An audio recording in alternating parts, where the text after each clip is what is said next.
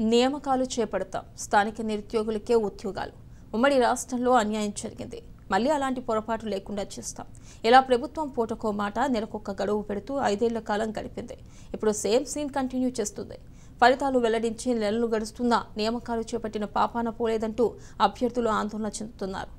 కళ్ళు కాయల కాసేలా ఎదురు చూస్తే చూసినా ఫలితం లేకపోవడంతో కారుణ్య మరణాల కోసం హెచ్ఆర్సీని ఆశ్రయిస్తున్నారు. తెలంగాణలో నియామకాలు గాలి కుదిలేశారు. ఉద్యమానికే ఊపిరిపోసిన నినాదాన్ని పక్కన పెట్టారు. ప్రత్యేక రాష్ట్ర పోరుకు నీళ్ళు నిధులు నియామకాలు ట్యాగ్లైన్గా నిలిచాయి. అందులో నీళ్ళు నిధుల విషయం అటుంచితే నియామకాల విషయంలో టీఆర్ఎస్ ప్రభుత్వం అన్యాయం చేస్తోందంటూ ఇప్పటికే నిరుద్యోగ యువత ఆగ్రహంతో ఉంది. తాము ఉద్యోగాలు మంచి భవిష్యత్తు కోసమే తెలంగాణ రాష్ట్రాన్ని కోరుకున్నామని అయితే ఆ కళ ఇప్పట్లో నెరవేరేలా లేదని ఆందోళన వ్యక్తం చేస్తున్నారు. వీరి పరిస్థితి ఇలా ఉంటే ఉద్యోగాలకు ఎంపికైన అభ్యర్థుల పరిస్థితి మరోలా ఉంది. ప్రత్యేక రాష్ట్రంలోనూ నిరుద్యోగుల నిరీక్షణ ఫలించడం లేదు. నియామకాలు నత్తనడకన జరుగుతుండటంతో కష్టాల పాలవుతున్నారు. అటు ఉద్యోగం కోసం ఎదురు చూడలేక ఇటు ఆశలు వదులుకొని వేరే ఉద్యోగం చేయలేక అభ్యర్థులు నరకం అనుభవిస్తున్నారు.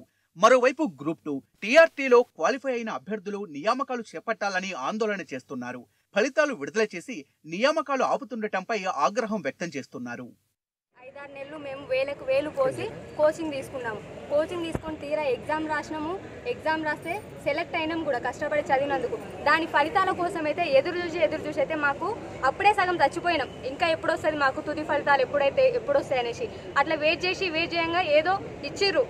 ఇచ్చిన తర్వాత మళ్ళీ పోస్టింగ్ కోసం మళ్ళీ నాంచుతురు అందుకే మాకు దయచేసి కేసీఆర్ సార్ మేము రిక్వెస్ట్ చేస్తున్నాము. తప్పకుండా మాకు నియామకాలు చేపట్టి పోస్టింగ్ ఇప్పించాలి ఇప్పుడు మా కౌన్సిలింగ్ డేట్ అనౌన్స్ చేస్తేనే మాకు ఒక నమ్మకం ఉంటుంది.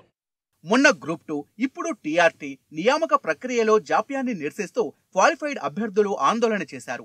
కారుణ్య మరణానికి అనుమతించాలంటూ హెచ్ఆర్సీని కోరారు. నెలలు గడుస్తున్నా పోస్టింగులు ఇవ్వడం లేదని ఆవేదన వ్యక్తం చేశారు.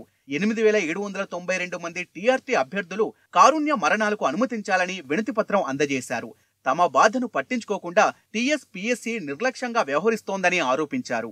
ఇలా తెలంగాణలో నియామకాలు నత్తనడకన సాగుతుండటం ఇటు నిరుద్యోగులను అటు క్వాలిఫై అయిన అభ్యర్థులను ఆందోళనకు గురిచేస్తున్నాయి ఇప్పటికైనా ప్రభుత్వం నియామకాలు త్వరగా జరిగేలా చూడాలని కోరుతున్నారు.